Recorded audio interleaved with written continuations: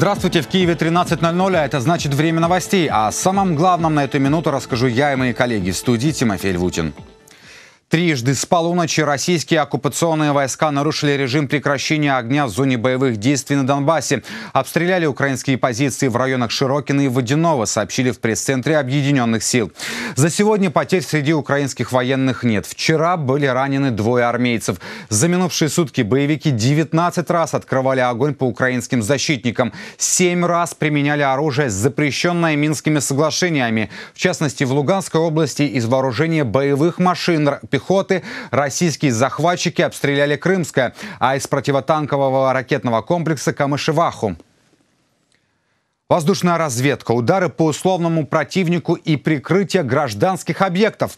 Военные асы из объединенных сил провели масштабную тренировку в Донецкой области. Учились поражать цели противника с воздуха. Это аэродромы и пункты управления. А во время выполнения заданий по прикрытию объектов и отражению авиационных ударов важная роль была отведена тренировке подразделений зенитных ракетных войск и ПВО сухопутных войск. Личный состав подразделений, который принимал участие в учениях, с поставленными задачами полностью справился.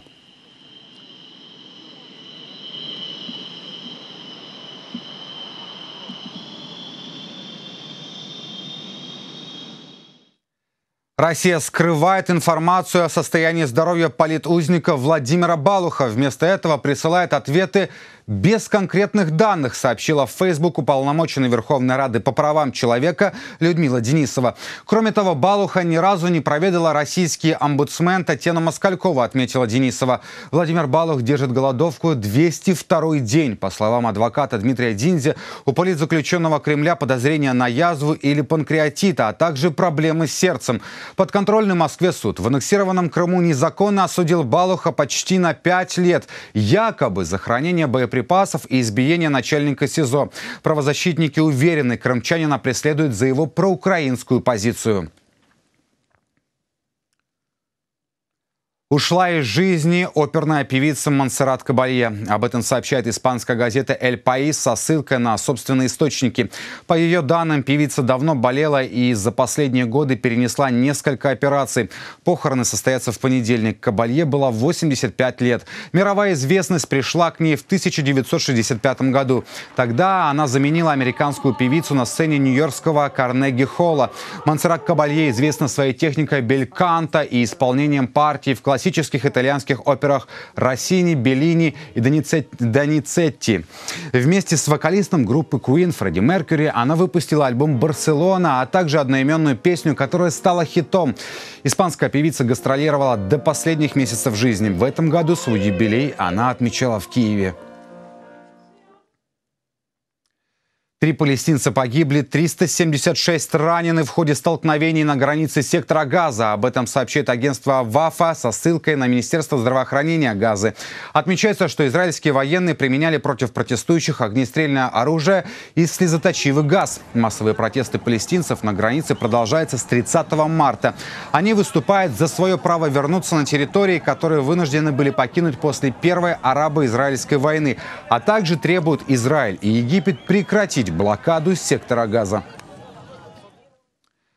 Парламентские выборы проходят в Латвии. В бюллетенях 16 э, партий и политических объединений. Открылись 954 избирательных участка. Еще 121 работает в 45 странах за границей. Свой голос отдать смогут полтора миллиона граждан. Голосование продлится до 8 вечера. По результатам опроса, который накануне провел Латвийский центр изучения общественного мнения SKDS, все им, вероятнее всего, пройдут 7 партий.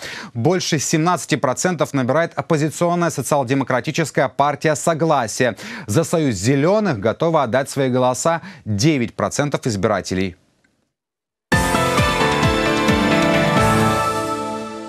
Семейный день чрезвычайных ситуаций проходит в Киеве. Показательные выступления пиротехников, кинологов и выставка современной и раритетной пожарной техники. Такой фестиваль организовали спасатели. Подробности узнаем у корреспондента UATV Виталия Бакуменко. Он на прямой связи со студией. Виталий, здравствуй. Что уже показали спасатели и как воспринимают люди этот фестиваль? Тимофей, добрый день. Ну, люди воспринимают фестиваль очень позитивно. Сейчас э, уже почти сейчас 13 э, часов дня, это суббота, выходной день. Здесь очень много людей, очень много с детьми гуляют. И, конечно же, это, это радует детей в особенности, когда они видят столько техники спасательной.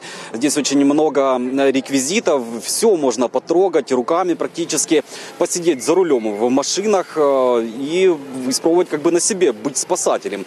Вот за моей спиной спиной стоит эта тех, машина тех, тех, техпомощи. А, она предназначена для того, чтобы, допустим, э, если произошла авария, переворачивать автомобили или разбирать завалы. И вот мы видим, что э, посидеть в кабине, в нее устроилась э, целая очередь из детей с родителями. А вот, вот эти вот стропы, которыми эта машина, с помощью которых она переворачивает автомобили, разбирает завалы, а, сейчас вот для детей из, из нее сделали качелю. И дети вот просто выстраиваются в очередь, чтобы покататься на качели вот такой тех, те машины техпомощи. А, для детей здесь очень много интересного. Выступали сегодня кинологи. А, дети э, в снаряжении могут испытать свои силы при работе на высоте. Лестница, стропы. Их э, спасатели учат подниматься, спускаться. И э, тоже очень интересно, дети могут собственными руками подержать в руках бронзбоид. Хочу бронзбоид. И те, кто сидят в машине, вот э, хочу... Дети, которые сидят в машине, вот, э, пожалуйста, поставьте синхрон. Что это за машина? Пожарная. Пожарная? Зачем она? Э, чтобы тушить пожар. А сирена зачем?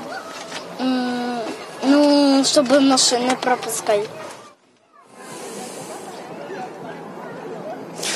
Вот так дети, э, вот такие вот эмоции у детей. И да, как я говорил раньше, детям дают э, поддержать бронзбой. Это тоже посмотрите, как они справляются с, со своими задачами. Это не тяжело.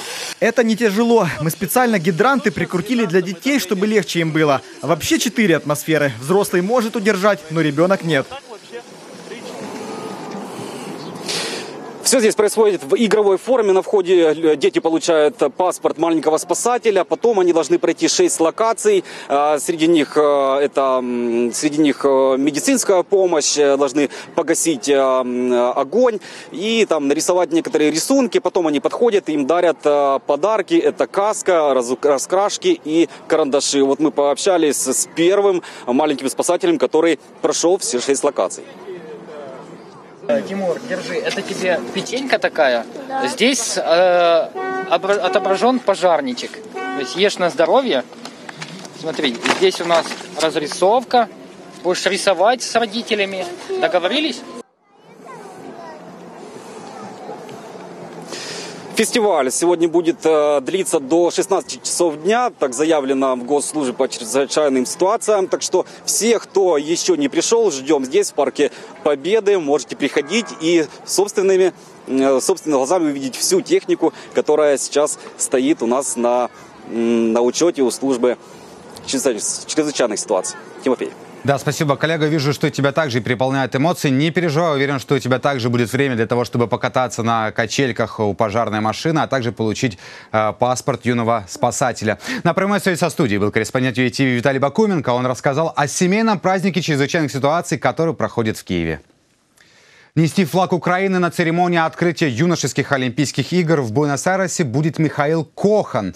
Он чемпион мира среди юношей и рекордсмен по метанию молота. Стартует соревнования 6 октября. В них примут участие 4000 спортсменов из 200 стран мира, сообщает Международный Олимпийский комитет.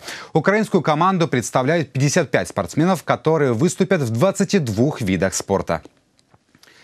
Гигантская кукла появилась на севере Англии. Сначала марионетка была замечена спящей на пляже Нью-Брайтон.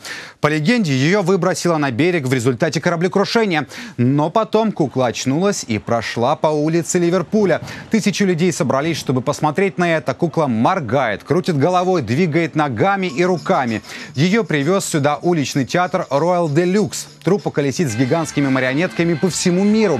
Высота некоторых 12 метров. Увидеть кукол в Англии можно до 7 октября. Всегда актуальные новости об Украине и мире вы найдете на наших страницах в соцсетях и на сайте телеканала uatv.ua. На этом у нас пока все. Буквально через пару часов новый свежий выпуск новостей, поэтому не переключайте и до встречи.